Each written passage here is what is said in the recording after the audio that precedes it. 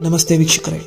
ಇಂದು ನಾವು ಹೇಳಲು ಹೊರಟಿರುವುದು ವಿಮಾನದಿಂದ ಹದಿನೇಳು ಸಾವಿರ ಅಡಿ ಎತ್ತರಗಳಿಂದ ಬಿದ್ದು ಬೆನ್ನು ಮೂಳೆಗಳು ಪುಡಿಯಾದರೂ ಒಂದೂವರೆ ವರ್ಷಗಳ ಕಾಲ ಆಸ್ಪತ್ರೆಯಲ್ಲಿ ಸುಧಾರಿಸಿಕೊಂಡು ಮೌಂಟ್ ಎವರೆಸ್ಟ್ ಹತ್ತಲು ಛಲ ಬಿಡದೆ ಬಂದ ಒಬ್ಬ ಸಾಹಸಿ ವ್ಯಕ್ತಿಯ ಕತೆ. ಹೌದು, ಅವರೇ ಎಡ್ವರ್ಡ್ ಮೈಕಲ್ ಗ್ರಿಲ್ಸ್. ಸಾವಿರದ ಒಂಬೈನೂರ ಎಪ್ಪತ್ನಾಲ್ಕು ಜೂನ್ ಏಳರಂದು ಲಂಡನ್ನಿನಲ್ಲಿ ಜನಿಸಿದ ಇವರು ತನ್ನನ್ನು ದೇಶಕ್ಕೆ ಪರಿಚಯಿಸಿಕೊಂಡಿದ್ದು ತನ್ನ ಸಾಹಸಿ ಕಲೆಗಳಿಂದ. ಬ್ರಿಟಿಷ್ ಸೇನೆಯಲ್ಲಿ ತರಬೇತುದಾರರಾಗಿದ್ದ ಇವರ ಕೆಲಸ ವೇಗವಾಗಿ ಹೋಗುತ್ತಿರುವ ವಿಮಾನದಿಂದ ಜಿಗಿಯುವುದನ್ನು ಕಲಿಸಿಕೊಡುವುದು. ಆದರೆ ಅದೇ ಒಂದು ದಿನ ಅವರಿಗೆ ಮುಳುವಾಗಿತ್ತು. ಪ್ಯಾರಾಚೂಟ್ ಕೈಕೊಟ್ಟ ಪರಿಣಾಮ ಅವರು ಹದಿನೇಳು ಸಾವಿರ ಅಡಿಗಳಿಂದ ಬಿದ್ದು ತಮ್ಮ ಬೆನ್ನು ಮೂಳೆಗಳನ್ನು ಪುಡಿ ಮಾಡಿಕೊಂಡಿದ್ದರು. ಈತ ಒಬ್ಬ ಪ್ರಚಂಡ ಸಾಹಸಿ. ಬ್ರಿಟಿಷ್ ಸೇನೆಯಲ್ಲಿ ಸೇವೆ ಸಲ್ಲಿಸಿದ ಸೇನಾನಿ. ಈತ ಒಬ್ಬ ಬರಹಗಾರ ಸಾಹಸಿಕ ಮೋಟಿವೇಶನಲ್ ಸ್ಪೀಕರ್ ಅದು ಹದಿನಾರು ಮೇ ಸಾವಿರದ ಒಂಬೈನೂರ ತೊಂಬತ್ತೆಂಟು. ತಮ್ಮ ಬಾಲ್ಯದ ಕನಸಿನಂತೆ ನೇಪಾಳದ ಮೌಂಟ್ ಎವರೆಸ್ಟ್ ಅನ್ನ ಹತ್ತುವುದರ ಮೂಲಕ ತಮ್ಮ ಹೊಸ ಸಾಹಸಿ ಜೀವನವನ್ನು ಆರಂಭಿಸುತ್ತಾರೆ.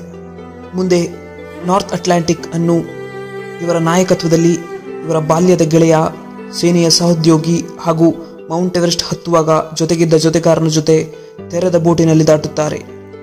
ಇದು ನಿಜಕ್ಕೂ ಒಂದು ರೋಚಕ ಪ್ರಯಾಣ. ಎರಡು ಸಾವಿರದ ಐದರಲ್ಲಿ ಇವರ ಹೆಸರಿಗೆ ವಿಶ್ವ ದಾಖಲೆಯ ಪದಕ ಬೀಳುತ್ತದೆ. ಅದು ನಿಜಕ್ಕೂ ಅದ್ಭುತ. ಬಿಸಿ ಗಾಳಿಯ ಬಲೂನಿನ ಕೆಳಗೆ ಇಪ್ಪತ್ತೈದು ಸಾವಿರ ಅಡಿಗಳ ಎತ್ತರದಲ್ಲಿ ಫಾರ್ಮಲ್ ಡಿನ್ನರ್ ಪಾರ್ಟಿ ಆಯೋಜಿಸುವ ಮೂಲಕ ದಾಖಲೆಯ ಪುಟ ಸೇರುತ್ತಾರೆ. ಎರಡು ಸಾವಿರದ ಎಂಟರಲ್ಲಿ ಮಕ್ಕಳ ಚಾರಿಟಿಗೆ ಹಣವನ್ನು ಸಂಗ್ರಹಿಸಲು ಪ್ರಪಂಚದ ಬಹಳ ಕಷ್ಟವಾದ ಅಂಟಾರ್ಟಿಕವನ್ನು ಹತ್ತಲು ಆರಂಭಿಸುತ್ತಾರೆ. ಆದರೆ ಭುಜದ ತೊಂದರೆಯಿಂದ ಅರ್ಧಕ್ಕೆ ನಿಲ್ಲಿಸಲಾಗುತ್ತದೆ. ಹೀಗೆ ಇವರ ಸಹಾಸಕ್ತಿಗಳು ಹೇಳಿದಷ್ಟು ಮುಗಿಯುವುದಿಲ್ಲ. ಇವರು ಒಬ್ಬ ಬರಹಗಾರರು ಸಹ ಆಗಿದ್ದರು. Facing up the kid who climb the Everest ಹಾಗೂ ಇನ್ನೂ ಹಲವು ಪುಸ್ತಕಗಳನ್ನು ಬರೆದಿದ್ದಾರೆ. ಎರಡು ಸಾವಿರದ ಹನ್ನೆರಡರಲ್ಲಿ ತಮ್ಮ ಆತ್ಮಚರಿತ್ರೆ ಮಡ್ ಸ್ವೀಟ್ ಅಂಡ್ ಟಿಯರ್ಸ್ ಬಿಡುಗಡೆ ಮಾಡುತ್ತಾರೆ. ಇವರು ಯುವಕರ ಮನಸ್ಸಿನಲ್ಲಿ ನಾಯಕರಾಗಿದ್ದು, ಅವರ ಡಿಸ್ಕವರಿ ಚಾನೆಲ್ನಲ್ಲಿ ಆರಂಭವಾಗಿದ್ದ ಮ್ಯಾನ್ ವರ್ಸಸ್ ವೈಲ್ಡ್ ಹೌದು. ಇದರ ವಿಶೇಷತೆ ಬಿಯರ್ ಹಾಗೂ ಆತನ ತಂಡವನ್ನು ದಟ್ಟ ಕಾಡು, ಮರುಭೂಮಿ ಹಾಗೂ ಮಂಜುಗಡ್ಡೆ ಅಂತ ಪ್ರದೇಶಗಳಲ್ಲಿ ಬಿಟ್ಟು ಬರಲಾಗುತ್ತದೆ. ಅವರು ಹಾಗೂ ಅವರ ತಂಡ ಅದರಿಂದ ಬದುಕಿ ಹೊರಬರುವುದೇ ಈ ಕಾರ್ಯಕ್ರಮದ ಮುಖ್ಯ ವಿಶೇಷತೆ. ಇದು ನಿಜಕ್ಕೂ ರೋಚಕ. ಅದು ಆಗಸ್ಟ್ ಎರಡ್ ಸಾವಿರದ ಹತ್ತೊಂಬತ್ತು.